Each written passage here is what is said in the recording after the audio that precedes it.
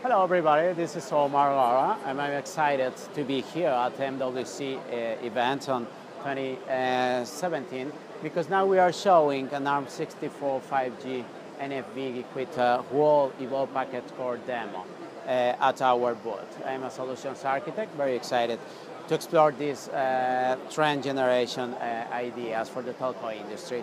So what you can see here is essentially a couple of ARM servers uh, backed by a ThunderX, uh, a Cavium ThunderX. Uh, besides that, we have uh, the radio unit device by Cavium as well.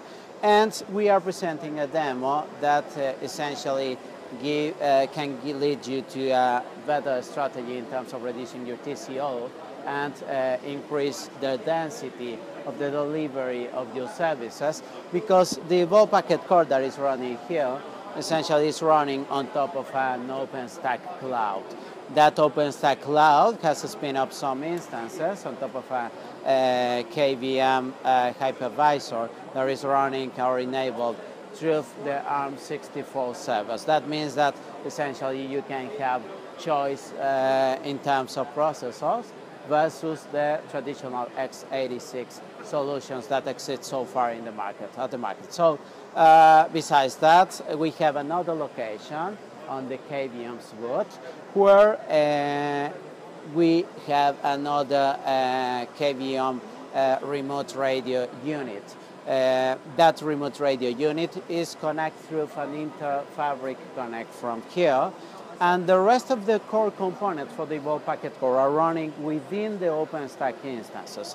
Uh, there's a component in those instances that essentially is the traditional Evolve Node B, the eNode B. That eNode B from our cloud is controlling the remote radio unit that is at the Cavium's booth. So essentially the idea or the general idea it's uh, that when it comes to economics, you can deploy your different Evolve Packet Core strategies uh, with a choice of processors, right? So for this specific, uh, specific case, uh, to deploy uh, your EPC on ARM64 will lead you to get the best uh, break-even point in terms of return of investment because uh, you can get uh, a denser, you know, and a better maybe performance and a low cost energy consumption in order to deploy this kind of workloads, right?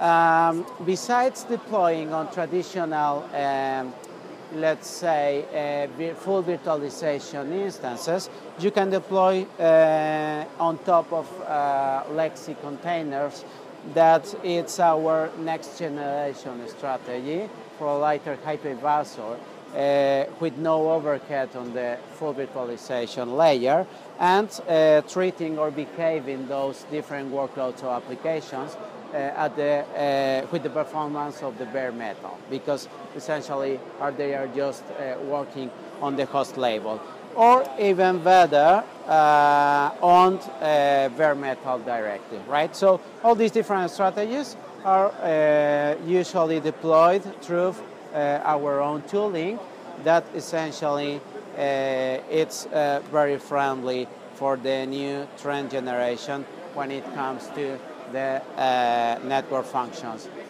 virtualization platforms.